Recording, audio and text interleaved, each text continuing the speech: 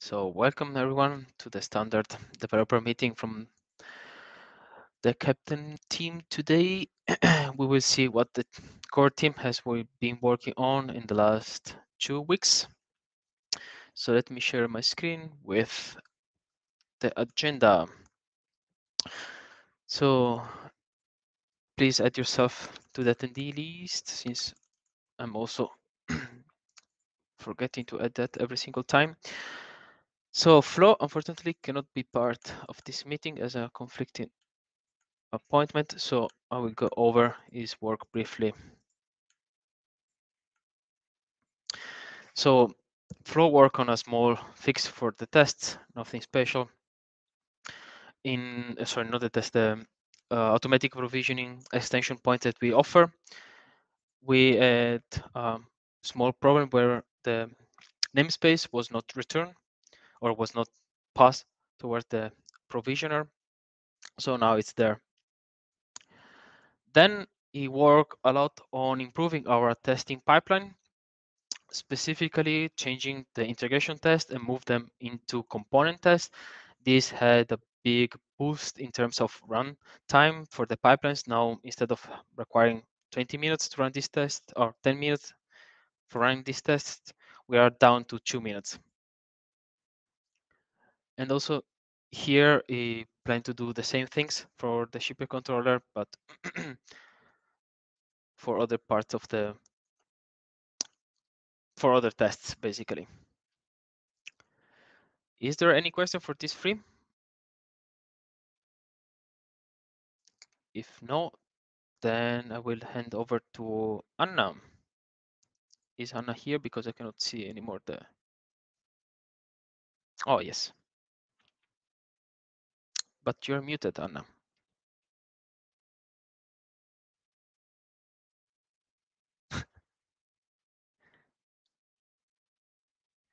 Try to unmute. Press, press the button. Yeah.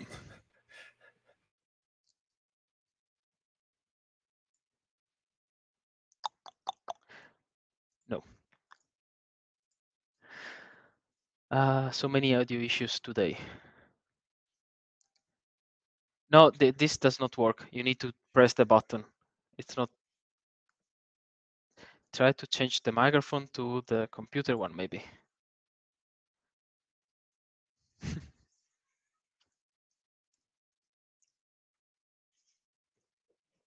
nope. I think we can go over to the next person in the list, and then once you fix out things, you can pick it up again. Oh, now I hear something.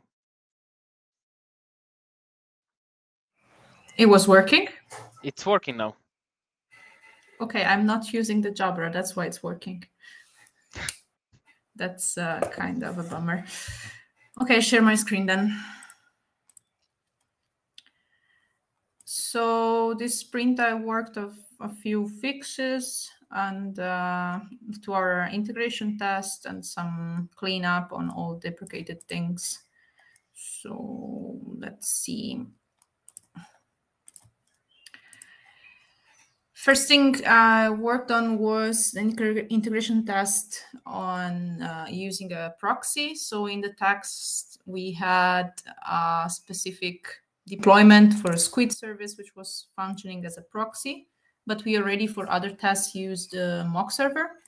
So what I've done here was just um, adding a few line of code to make sure that we can use the mock servers as the proxy in this test and uh, yeah, verify that everything works fine. Nothing much here. Uh, for the cleanup PR, this was about removing the old subscription from the uniform. So if you check the Keptn API, um, yeah, there are a few things in the uniform that don't really make much sense for us. Um, yeah, here in the subscription, we used to have uh, subscriptions and subscription where there was a, a list of, uh, of the subscription in the model. Maybe I can find the model here somewhere. And uh, now this has been removed by all parts. And uh, I can show you in the PR here. This has been changed in the GoUtils library, just uh, eliminating this part. And uh, then what has to be done was to, in Shipyard, make sure to remove all the filters where we were uh, working with that in the handlers and in the database.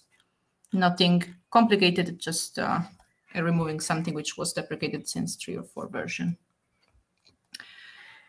Um, then there was a tiny little bug in the scheduled pipeline. Uh, doesn't really even worth speaking about that. Uh, the point is that only when the pipeline is scheduled, this branch will be checked and uh, curly bracket were missing. So this part was empty and scheduled pipeline was failing. Too bad. As the final work, um, in the new library we have, the CP connector, we used to have um, NATS connector, which was initialized by the user and passed to the library. And this was a problem because then we would have a time in which the NATS is receiving events, but the library is not actively using it yet because it's not started. So to avoid that, uh, just changed this in a way that uh, when we create new NATS, we just store the data relative to it. And then every time we use uh, the NATS connection, we will call a function where we only once connect to NATS in this way. Uh, such a problem is not happening. And uh, there is another PR, which is work in progress, where I am merging this change in all of the services that are correlated.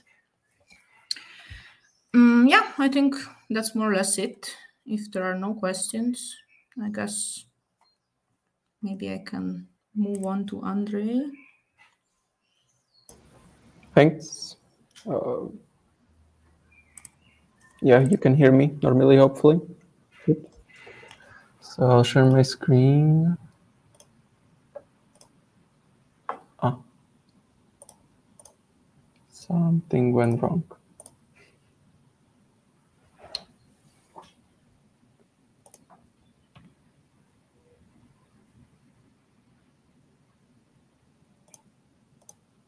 due to some reason, I cannot share my screen. Um, maybe we can move if forward. you want, I can I can share the screen for you. Yeah, that would be great.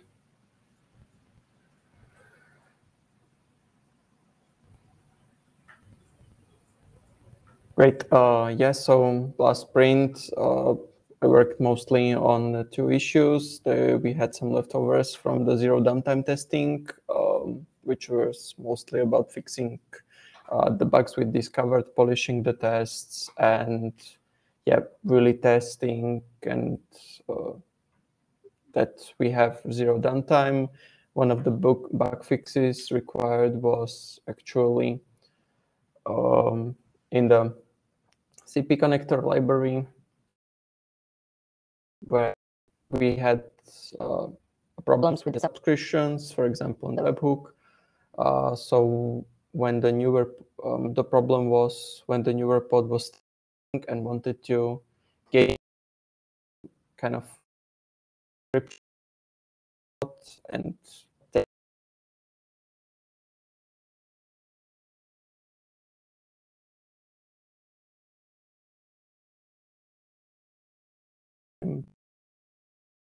was not able to get the subscriptions from the older and was waiting. So this was fixed by the, this uh, pull request, where we actually immediately after the start of the subscription source, uh, we're trying. To...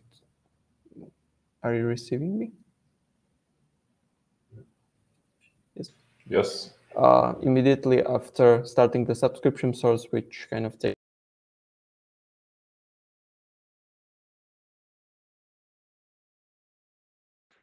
Now I don't hear you anymore.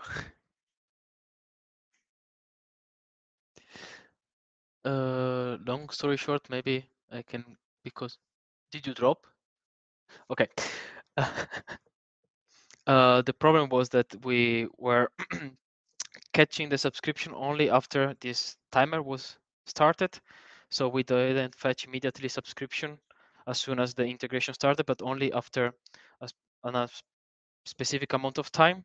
Instead, now the first thing we do when the subscription starts, then we also fetch the information and then we start the timer. So there is no gap of time where subscription are not collected. Andre, are you still part of the call? Because I cannot see who is in, who is not. Looks like. No, it's not. Okay.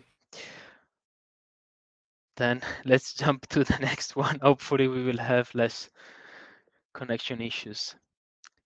Then I guess Bernd is your turn. Okay, cross your fingers. Um, gonna share my screen. Good then. Um,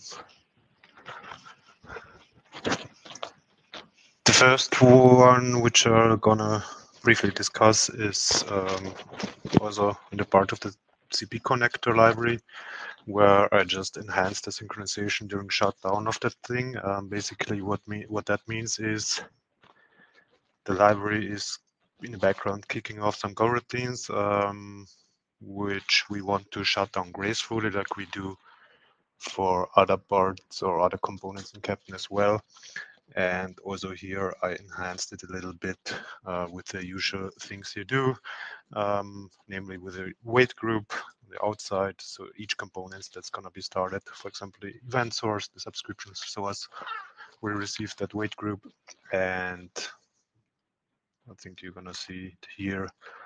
Um, there will be a wait group of size two because we have two components to, to be synchronized. And later on, when the things are going to shut down, we synchronize on this wait group to be finished. And only after that, we set the state to registered false because only that we know that each component was able to gracefully shut down. For example, disconnect from a message broker, um, disconnect from subscription API and so on. So that was the first thing which should uh, even hardening the shutdown a little bit more. Although we didn't saw issues there, uh, it was not completely correct and now it's synchronized and just you can now trust on this uh, boolean value which says it's registered or not because it's properly synchronized. That was the first one. Um, Next thing, OSSCP connector. Now we are able to inject a logger implementation. Uh, the first version of the CP, CP, connector was also using a logger, but um, kind of a, yeah, you see it here. Um, default logger, which is just, um, yeah, fulfilling the interface of our, our uh, loggers and just putting the stuff on standard out and nothing more. Now you're able to use the with logger function for each component to inject a proper logger, for example, logrus or what else, um, so that we can actually use, or the user can actually inject uh, his favorite logger and use all the log level features and so on with this library. Um, I think Anna also already make made use of that uh, in other components so that we have proper logging when we are using the library. Next thing, CP connector again. um, there just took the opportunity to do a little package restructuring because the first version of it was just uh, having all the components and all the files in one package one big package, which was just called, I think, control plane. Now I've just, um, yeah, basically created smaller packages. You can see it here.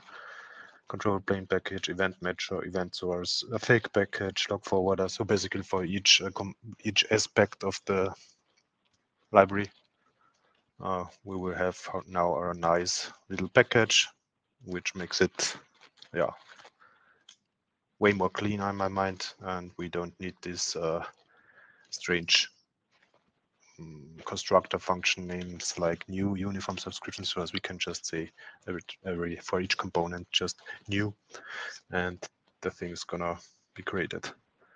Um, that's it for this, I guess. Nothing too complicated there. And one little thing I just explored uh, where we are using um, Swagger documentation.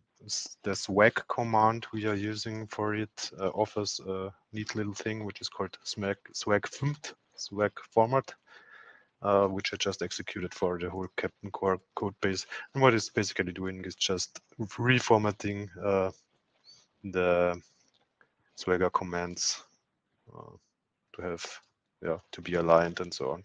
So just a yeah formatting thing. I think we can put that in a pipeline or I don't know what useful useful thing I think. Um, other than that, um, one thing I wanted to mention uh, about Anna's ticket about the connection thingy. Um, don't worry. Um, I think it was not a problem that you will lose events because of the connection already established. It was uh, because the subscription um, and uh, ultimately the um, the um, subscription on the net on the on the message broker we will just be made on subsequent message calls and not as soon as you're connected. So the problem here was more like um, you need a already established connection um, to create the control plane. Now with Anna's changes, it, it's way more easier because you can just configure your control plane component, this one here, and don't need at this moment already the connection to NATS. This one will just later be established when when the connection is um, uh, when the control plane is started. Um, so with the current release of Keptn, um, we don't lose events of because of that. It's just nicer to use. Good. That's it from my side. Um, I think, I don't know, Andre, it's working. Then I hand over to you and stop my sharing if there's no question. Thanks. So second time. Let's see if it works. Yeah, already the screen sharing works as well. Uh, yes, so I think Giovanni already mentioned the zero downtime testing and uh, issues binded with it. So I will move to the new Git credentials model, which was uh, the main issue for me in the last sprint. Um, recently, we decided that uh, we will make a breaking change and refactor the API model for restoring the Git credentials. The previous model for the project looked like this. Um, it had a flat hierarchy and actually was not that nice and not that easy to use and to test. So we decided to uh, move to a more sub, more structured uh, hierarchy with, where um, the type of the authentication has its own substructure and yeah it's kind of easier and nicer to use um, more effective. As part of this pull request uh, as part of this issue and also pull request uh, we decided to kind of normalize uh, the used models um, because actually we were using uh, for each service um, a separate model, which was not that kind of convenient to use because if we needed to make the change, we need to make the changes in all of these models. So now we have just one model for all services which are used widely and therefore it's pretty easy. For now, um, this change is not yet merged because uh, there still need to be some adaptations in the bridge side to actually make it usable. Uh, but the changes are prepared. For the model is placed in GoUtils, where we adapted uh, the models for creating the project, for retrieving the project, and also um, model for storing the project. and also the adaptations for the Keptn core are also done. Um, there were a lot of places which needed to be adapted, um, as well as there was a need to implement a migrator, which will migrate uh, the database and also the secret uh, data um, from the older model to the newer model. So this all is implemented and tested. And hopefully in the next uh, sprint, it will be merged and part of the Keptn core. Uh, I guess that's everything on my side. Are there any questions? So yeah, I will pass it to Ermin now. Uh, thank you very much.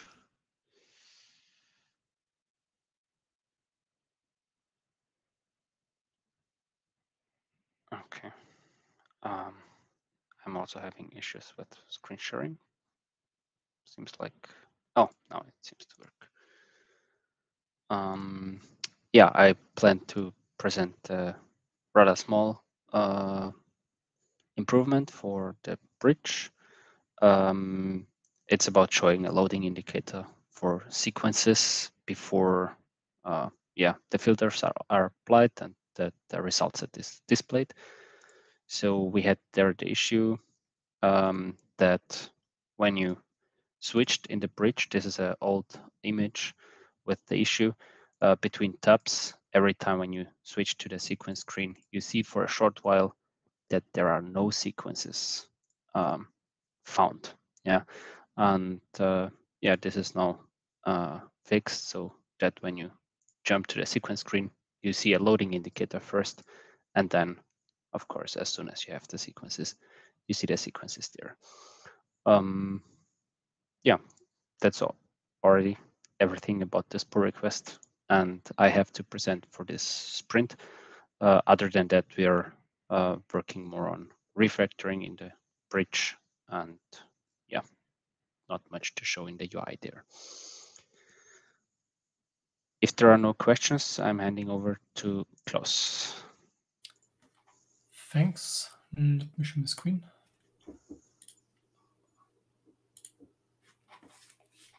Okay, so for me, a uh, lot of bug fixes or yeah, only bug fixes. So let's jump to the first one. Uh, there was the case that not all evaluations were shown in the environment screen. Uh, this was this one, the evaluations on the right side. Uh, only uh, to a maximum of 20 were shown here and not all of them. And yeah, this was due to a missing limit parameter It was not sent to the backend. And now it's correctly set to, to 100 or to the polling or the, to everything, let's say. Now everything is returned and just instead of just the 20 first iterations. Yeah, uh, this was this bug. The next thing is we had a broken UI if the connection was lost.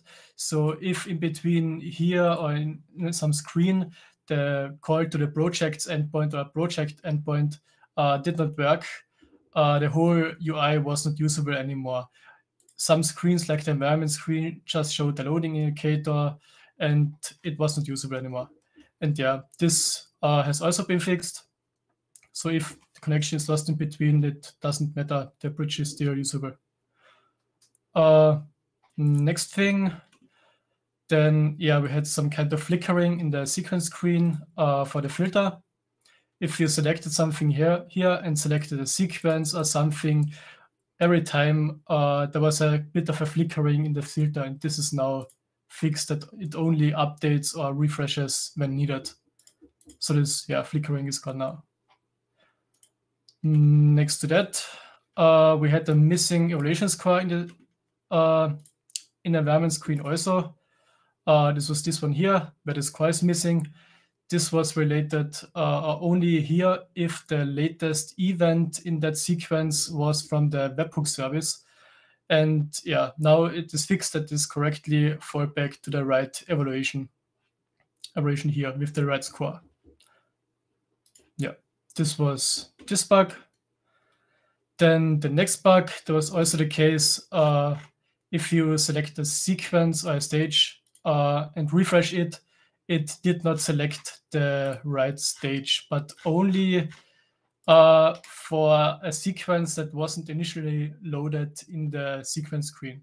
So everything that first 25 worked fine, but if something out of the 25 uh, had another stage selected, it was not working and just selected the latest one.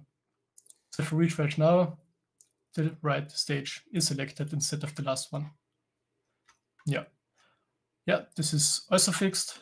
Then the next fix, yeah, we there were some cases where the uh, SLO file uh, was invalid encoded, and then the whole heat map uh, wasn't shown anymore, and yeah, you could not see any evaluation if one evaluation had an invalid SLO file. And yeah, this is also fixed. So if there is an invalid SLO file now, you can see the button is disabled and there's an overlay that you have an invalid encoded SLO file. Uh, yeah, and if there is no SLO file, this button is just uh, not here. It's uh, yeah, then removed. This was this bug. Then another bug we had uh, for the approver. So if you uh, had an approval or something and accepted it or dislined it, uh, there was the case that two evaluation finished uh, were sent by the bridge server, by, by the bridge client. And yeah, this is now also fixed that the bridge only sends one finished event instead of two. This was this bug. And another case, yeah, the project part. So there was the case that if you go to a dashboard, uh, the projects weren't updated correctly. Only uh, if the page is initially loaded, but not if you go to the dashboard again, uh, it showed the old state instead of the current one. And this is also fixed by now.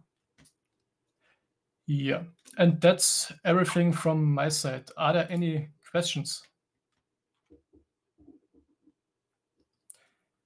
If not, if not, then I will hand over to Meg. Hi there. See if I can share screen. Um,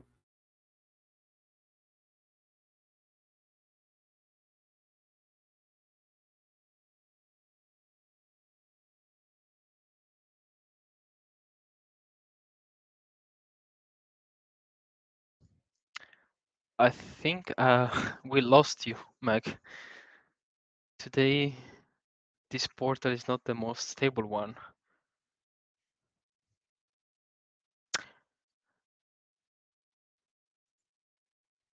If you have issue sharing, I can share it for you.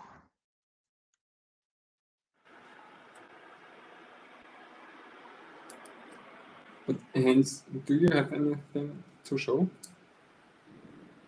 Mm, yes, of course. But then let's first uh, take the technical stuff. Okay, I hope my share screen does works. In... Okay, does it? Do you see my screen? Yeah. Yes. Okay. Um, currently, bigger task I'm working on is the introduction of a state management uh, in the bridge Angular project. Therefore, I made some pre preliminary work, for example, renaming the dashboard, and we want to um, uh, replace component by component. This will be a longer task, so nothing interesting, I think, for the other developers. What um, maybe can be for others is there's now you can configure your auth message, which is displayed on the top right. Um, um, also via uh, Helm values. And if there's a value set, then this um, this auth command is displayed instead of the default one. Uh, we're heavily working, as you can see, on uh, modularize the Angular project. So there are a lot of uh, repeating components which has to be modularized. So it's basically um, doing the same stuff for over and over for this for these classes. So having a module and then instead of importing uh, instead of importing the module in the app modules, you just import the module. And so all these components will be removed and it will be more modularized, which uh, is good for um, uh, reducing the size the browser has to load. So not load the whole application at once, but just in smaller chunks. Um, then there was a fix, as you know, if you enable the version checking, then there is a version loaded from the official Keptn page, something like this. And if it's not retrievable, then uh, it errors. And so there's now a default version translation returned and the UI works as expected. So does not crash. And another fix, yeah, some small one when you had a filter uh, in this in this filter bar and you would reload the page. Uh, it often was the case that you had the old, even though you cleared the filter before, then the old um, values were inside, and this pull request fixes this, and the UI has always the state you expected to have. So yeah, thanks. That's all from my side.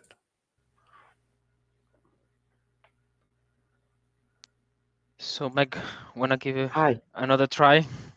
We could give it another try. Uh, let's see.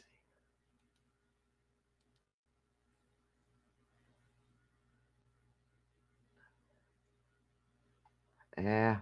Can you still hear me? I'm getting, we can't access your screen. Um, no big deal. You all have the link. Um, I think the, I don't know how much you heard me say, this new tutorial, I think it's pretty good. Um, Adam and Afzal did some beautiful work on it. But it's right now, you make one click. uh,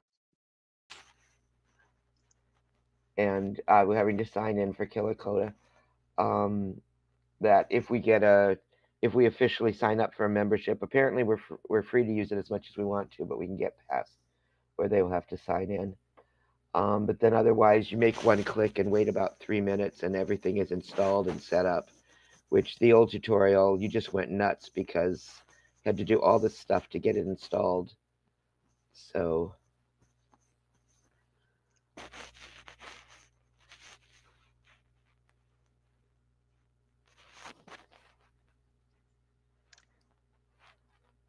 Then would you like to discuss the second point, or does the comment Um, answer it? yeah, it was.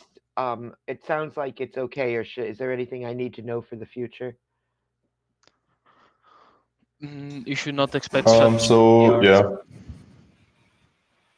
Please, exactly. Um, so it's, it's just a bug basically. Um, Yeah. So we ran this auto generation of the CLI documentation um, based on when a tag was pushed, uh, regardless of if it was a pre-release or a full release tag. Um, so basically, just the, the filter needs to be set correctly so that pre-releases won't trigger that anymore.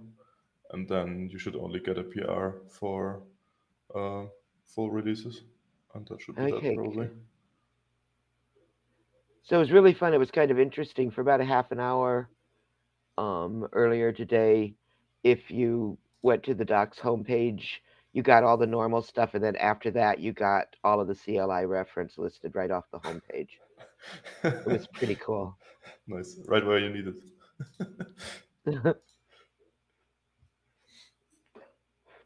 so thanks for that.